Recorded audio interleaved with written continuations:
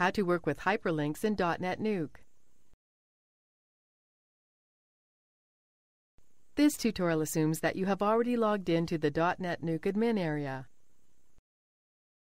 Now let's learn how to work with hyperlinks in DNN Text HTML module.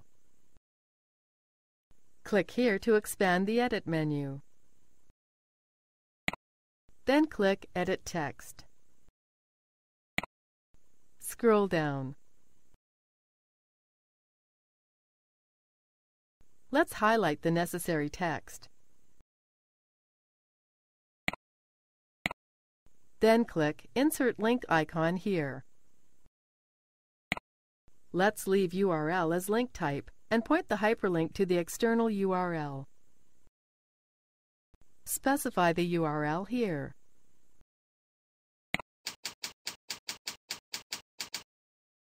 Then click the Target tab. Choose Target blank to open the link in a new window. When ready, click OK. Scroll down.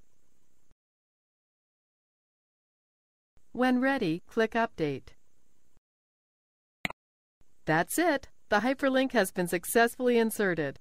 Clicking on it will open the link in a new window or tab. This is the end of the tutorial. You now know how to work with hyperlinks in the DotNetNuke WYSIWYG content editor.